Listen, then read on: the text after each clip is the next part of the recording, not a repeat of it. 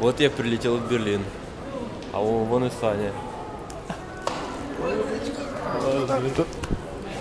Только приехал, и мой друг Саня сразу припахал меня выносить какие-то пакеты на улицу. Это же классно. вот. Да, это классно. Вот, и еще у него родился сын Виктор. Вот. И очень классный сын. Очень Такой маленький, пахучий. Саня, расскажи чуть-чуть про себя. Мы с тобой учились в Перми и учились в Харьковской балетной школе до Перми. Да. А после Перми ты поехал к Пестову. Да, в Штутгарт. Я выиграл конкурс в Берлине. Золотую медаль взял. И меня пригласили в Штутгарт, мне дали стипендию. А мы сейчас в штатс-балет Берлин. И тут сейчас Саня идет на класс, а я буду смотреть. Слушай, Саня, что ты снял только что? Серое трико и одел черное. Какая разница? Я в сером занимался уже два дня, немножко липко. Липкая, да? Все мои друзья, однокурсники уже шли работать, танцевать, а мне то есть предстоял выбор, либо идти как бы, ну, реализовывать себя уже как артист, либо опять вернуться к станку, одеть белые носки и еще два года простоять вот так студентом. Это очень сложный был выбор, но я решился только из-за того, что в Штутгарте был очень знаменитый педагог Петр Антонович Пестов. И такая вот такая ситуация, то что я на самом деле знал всю жизнь этого учителя, потому что мой первый педагог в Харькове, он был выпускником этого учителя в Москве. А Пестов это лучший в мире мужской педагог. Идет урок, а я пошел за конфетками. Ну, не могу я удержаться, надо похавать конфеток. Ну, а сейчас дальше смотреть урок. И в Большом театре, он, был, он преподавал в Москве, а, на протяжении 10 лет практически все ведущие были выпускниками Петра Антоновича. Офигеть. Владимир Малахов, Цицкаридзе, Ратманский. Пока шел, увидел, три класса идет одновременно. Три огромных зала, и там идут уроки.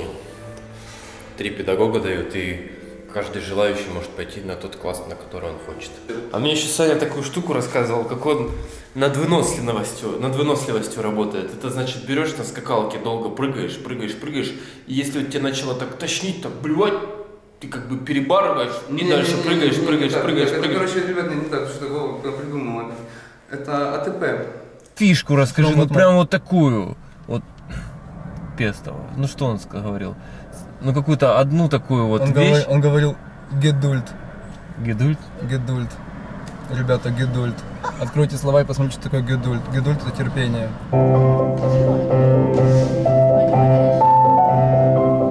Здесь, короче, вообще никого нельзя снимать и ничего нельзя снимать.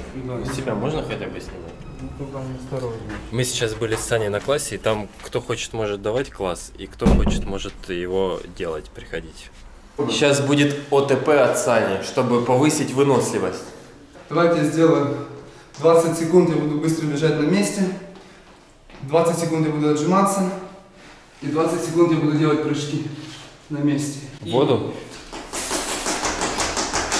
Короче, ребят, да, гедуль, терпение. Терпение это самое главное. Он нас учил терпению. Он нас так напрягал, мы просто плакали все. Но он учил терпению, потому что терпение это все. Как бы, если ты умеешь терпеть, ты перетерпишь сложные времена и придешь как бы к.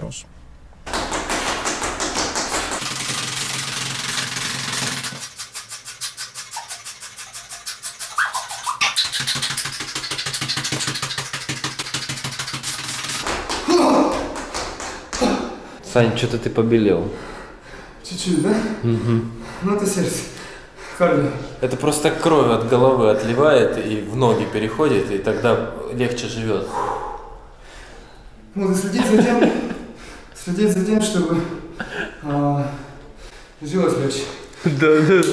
В шац-балет нельзя снимать, и поэтому я не могу здесь ходить по театру и все снимать, все показывать. Мы сейчас с Саней гуляли по театру, у них есть здесь комната с большими кроватями, где можно отдыхать э, между репетициями. Есть кухня, есть тренажерка, несколько тренажерок, классные залы, ну, в общем, все удобства, даже сауна есть, и несколько массажистов, которые делают массаж артистам. Ну, вот э, Саня поделился со мной такой идеей, что это вообще все не важно. Может быть вообще не, ну, только балетный зал, ну и раздевалки.